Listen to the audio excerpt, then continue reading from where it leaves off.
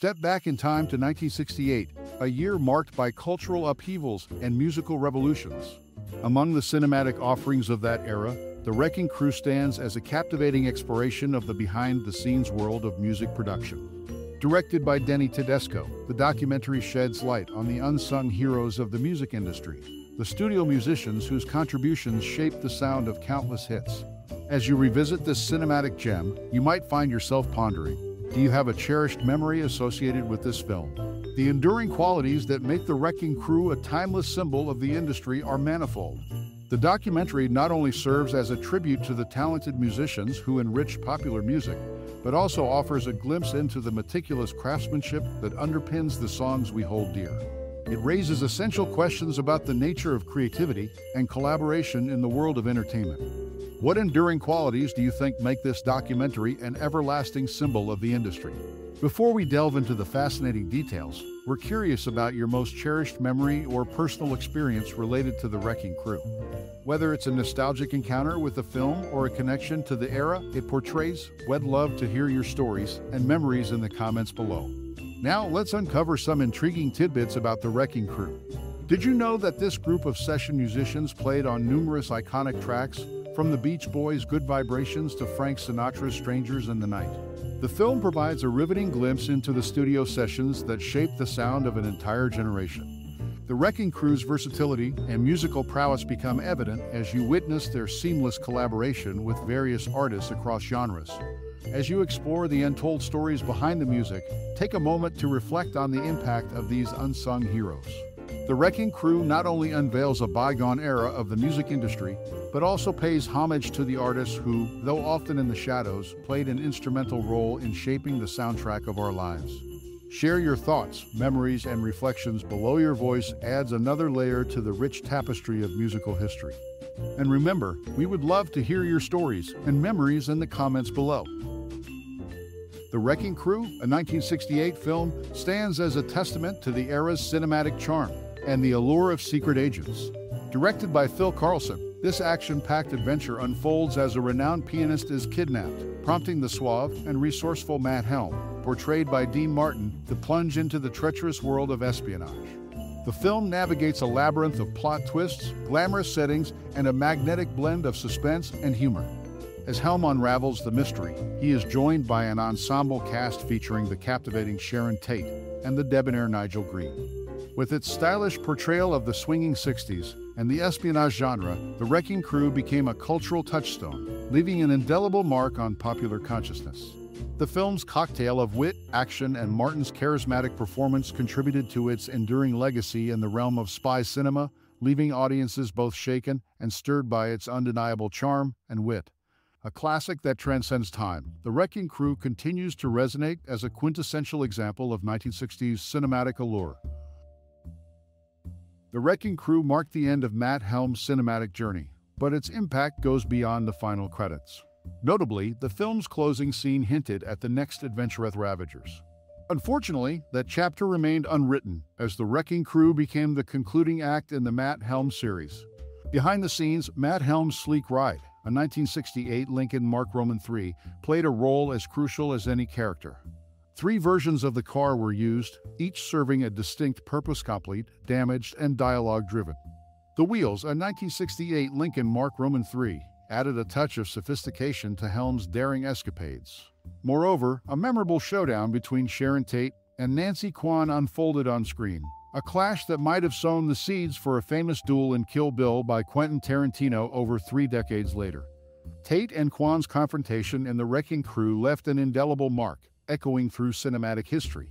As the credits rolled, signaling the end of Matt Helm's era, the echoes of what could have been with the Ravagers lingered. The film's legacy lies not only in its espionage charm, but also in the behind-the-scenes details Matt Helm's stylish wheels, and a cinematic showdown that resonated across decades. The Wrecking Crew, a cinematic relic. Amidst the cinematic charm of The Wrecking Crew, a pivotal moment unfolded behind the scenes altering the trajectory of the film series. In the aftermath of the movie's release, tragedy struck with the brutal murder of Sharon Tate, co-star and friend to Dean Martin. Tate's untimely death deeply affected Martin, leading him to abandon the next slated installment, The Ravagers, and retire the iconic Matt Helm character. Contrary to popular belief that the series concluded due to poor reviews and box office performance, it was the emotional toll exacted by Tate's murder that marked the true conclusion of Matt Helm's cinematic journey. The widely held opinion now faces a poignant revelation, shedding light on the personal impact that transcended the silver screen. Moreover, the attempt to infuse martial arts into the film added an interesting layer. Bruce Lee, serving as the fight choreographer, sought to train Dean Martin in martial arts for his fight scenes. However, Lee's candid assessment labeled Martin as clumsy and lazy, leading to the decision to enlist a stunt double for Martin instead. As we delve into the layers behind the Wrecking Crew, the convergence of personal tragedy and the challenges of choreographing fight scenes offer a nuanced perspective on the film's dynamics. Beyond the stylish portrayal of espionage in the swinging 60s, these behind-the-scenes revelations provide a compelling backdrop to the legacy of the Wrecking Crew, showcasing the intricacies that shaped its narrative. Columbia Production number 808069 adds a touch of industry detail, anchoring the film in the broader context of cinematic production. This production number, often overlooked, serves as a key identifier, linking the Wrecking Crew to the intricate web of Columbia Pictures' cinematic endeavors.